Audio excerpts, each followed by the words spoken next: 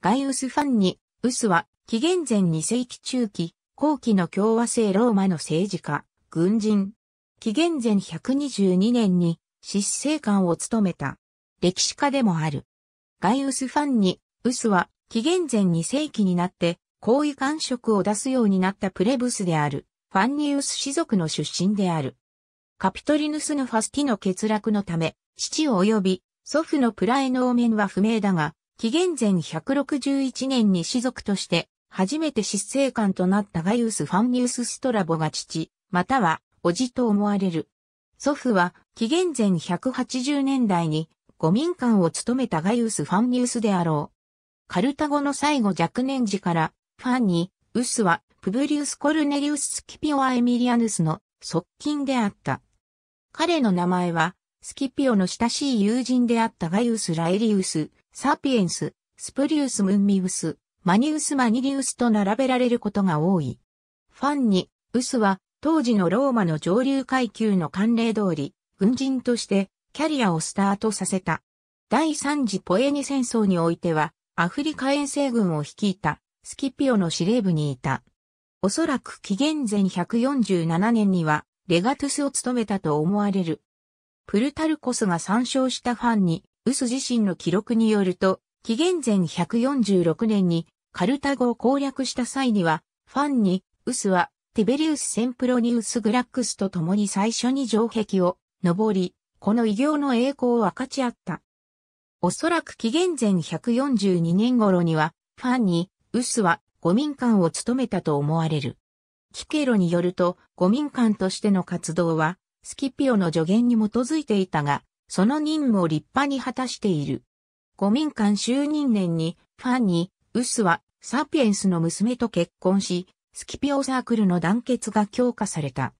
紀元前141年から紀元前140年にかけては、クイントゥス・ファビウス・マクシムス・セルイリアヌスの指揮したヒスパニア・ウルテリオルで戦った。セルイリアヌスは兵力を結集し、ルシタニアの指導者ビリアトゥスが率いるルシタニア軍に海戦を挑んだ。ルシタニア軍は最初敗走したが、ローマ軍の戦闘体系が乱れているのを見て反撃を開始し、戦況は逆転してローマの敗北に終わった。戦死者は3000に達し、生存者は野営地に逃れ、再度の出撃を拒否した。兵士たちを戦わせることができたのは、有能なトリブヌス・ミリトゥムであるファンにウスのみであった。続いて、ファンに、ウスはプラエトルに就任する。この時、ハスモン朝、ユダヤの最使王、ヨハネ・ヒルカの彗星は、ローマに使節団を派遣し、同盟関係を更新しているが、ファンに、ウスは重要な役割を果たしている。ただ、これが何年のことかは明確ではない。紀元前132年という説があるが、この場合、スキピオの影響力が大きかったであろう。キケロは国家論の中で紀元前129年の出来事に関連して、ファンに、ウスの名前を挙げているが、その肩書きを、アゼチカン経験者としているのみである。歴史家ブロートンは、紀元前127年と推定している。ガイウス・グラックスの史歴史家会ミュンツァーによれば、ファンに、ウスは、紀元前130年と、紀元前129年に、執政官選挙に立候補したが落選したとしている。スキピオが紀元前129年に没すると、スキピオサークルは政治的意義を失い、ファンニウスも旧友達の支援を頼りにすることができなくなった。彼が執政官となったのは紀元前122年のことで、古民官ガイウス・センプロニウス・グラックスの動きが大きく作用した。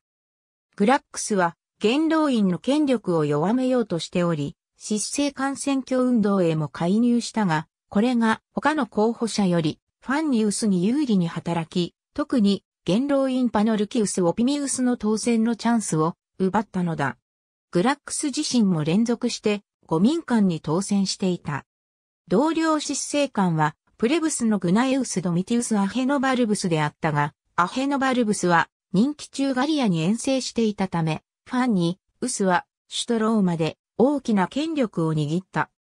グラックスと元老院の確執は激しさを増していたが、ファンに、ウスは元老院を支持した。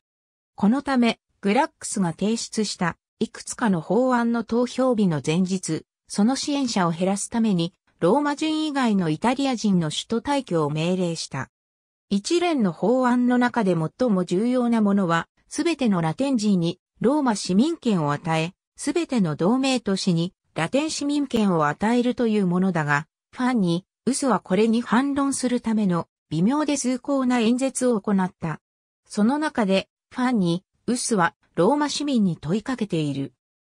諸君たちは今民会で私の前にいるが、ラテン人に公民権を与えた後でも、この集会に参加し続けることができると本気で思っているのか。また、競技会や娯楽においても、今までと同じ場所を占めることができると思うのか。ラテン人がすべての場所を埋め尽くしてしまうことを理解していないのか。テオドール・モムゼン、ローマ市この法案の可否に関する投票は、おそらく実施されなかった。グラックスはサンドゴ民間選挙に出馬するが落選。グラックスに対するセナトゥスコンスルトゥムルティムムが出された。追い込まれたグラックスは自害した。この件に関するファンに、ウスの動きは不明であり、また失政官任期完了後のファンにウスに関しても、記録はない。ファンに、ウスは、マルクス・ポルキウスカとケンソリウスを見習い、ギリシア語ではなく、ラテン語で著述した歴史家の一人である。彼はアンルズと呼ばれる歴史書を書いており、太古からファンに、ウスの時代までのローマの歴史をカバーした。この作品は、アイネアースのイタリアへの到着から始まり、ポイに戦争開始までの出来事は、簡素にまとめられている。過去の例に倣って、ファンに、ウスは歴史上の人物の演説を自身の著作に盛り込んだ。おそらくこのようにして、彼は歴史上の人物の行動の動機をポリビオスの精神で示そうとしたのであろう。ファンに、ウスは当時の新しい手法である資料の体系化を拒否し、古い代記の手法を好んだ。ファンに、ウスの年代記は今は断片が残るだけだが、その一つで、ファンに、ウスは歴史家が政治活動を経験することの必要性を主張している。実際の政治活動から教訓を学ぶことができれば、ポジティブに見えていたことが、実はネガティブであったり、今までとは全く違ったものになったりすることも少なくない。ドゥーロフ、V Artistic Historiography of Ancient Rome、その他にも年代記からの引用がいくつか残っている。その一つでは、ソクラテスは考えていることとは異なることを口にして、ギリシア人がアイロニーと呼ぶ知らないふりを好んで用いたが、スキピオアフリカノスも使ったやり方で、ソクラテスと同じ手法であるから、卑怯なやり方とみなすべきではないと述べている。別の引用ではドレパナの町に言及しているので、第一次ポエニ戦争、または第一次奴隷戦争のどちらかであると思われる。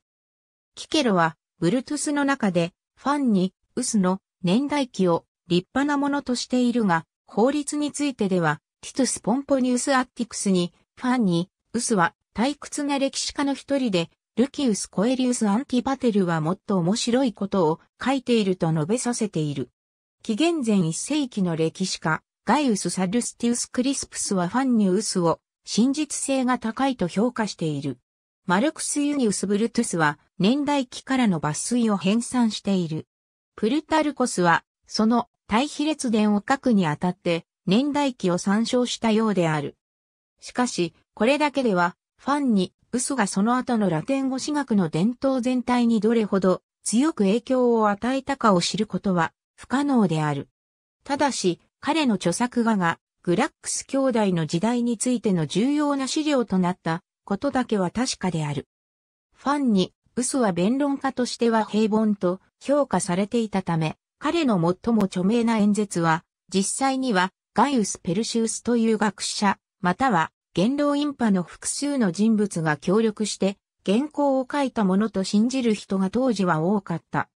この集団著作の噂はファンに、ウスの演説が元老院の多数派全体の特定の政治的問題についての意見を述べたという事実に関連している可能性がある。対してキケロはファンニウス本人が書いたと主張している。前編にわたって話の調子が一定しているし、文体も統一されていること、また、ファンに、ウスはグラックス兄に対して、他の弁論家の手助けを受けていると非難しており、もし、ペルシウスが代筆したなら、グラックスが黙っていたはずがないというのが理由である。パテルクルスは、紀元前2世紀の結出した演説家の一人として、ファンに、ウスの名前を挙げている。ファンに、ウスは、ガイウス・ライリウス・サピエンスの次女ライリアと結婚した。この岐阜の勧めで、哲学者パネティウスの弟子となっている。前任者の死去によって、アウグルを選ぶことになった際、サピエンスはファンニウスではなく長女の夫であるクイントス、ムキウス・スカエボラを推薦した。このこともあり、ギフトの関係は良くなかった。ただ、ファンに、ウスは後に、アウグルに就任している。すでに古代においても、ガイウス・ファンニウスという政治家が二人いたと認識されていた。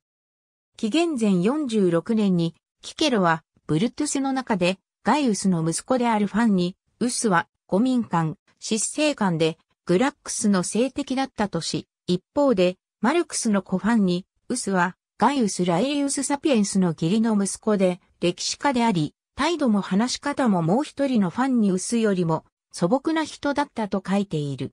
また、後者は、前者が五民間を務めた13年後の紀元前129年に、ようやく、クワイストルに就任する年齢であったとも述べている。以下に示すキケロから、ティトス・ポンポニウス・アッティクスへの手紙は、明確ではないが、紀元前45年に書かれたもののようだ。私は、ブルトゥスが引用したファンに、ウスからの抜粋に困惑している。その抜粋をもとに、ファンに、ウスはガイウス・ライリウス・サピエンスの義理の息子とした。しかし、君は、私の間違いを指摘した。今、ブルトゥスは君に異議を唱えている。私が、ブルトゥスに書いたことには、クイントゥス・ホールテンシウスもお墨付きを与えている。この問題を修正してくれたまえ。聞けろ、アティクス・アテ書簡集、12、5、3、テオドール・モムゼンは、この手紙の内容から、ブルトゥスを書いた後、アティクスがキケロに、歴史家ファンに、ウスと政治家ファンに、ウスが同一人物であることを確信させたのではないかと推察した。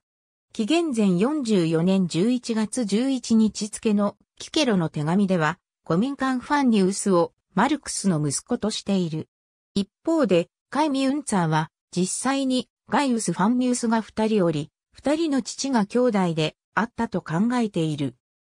カズトは紀元前161年の失政官、ガイウス・ファンミウス・ストラボの子、もう一人は、マルクスの子であるが、いずれも、紀元前187年の五民官、ガイウス・ファンミウスが祖父である。